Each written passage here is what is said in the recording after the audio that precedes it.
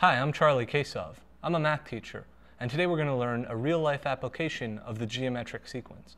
Now, a geometric sequence is a sequence of numbers, and each term in the sequence is multiplied by the same number uh, from the previous term. So if we have 1, 4, 16, 64, 256, this is a geometric sequence in which the multiplier is always 4.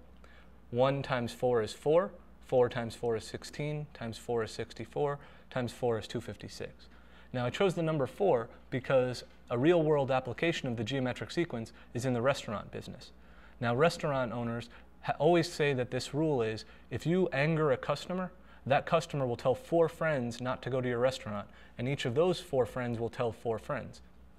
So we have that one angry customer who goes and tells four friends, one, one, one, one, who then go and tell four friends each. And basically, at each step, we're going 1, 4, 16, 64, 256. So in one, two, three, four, five steps, we've already angered 256 potential customers.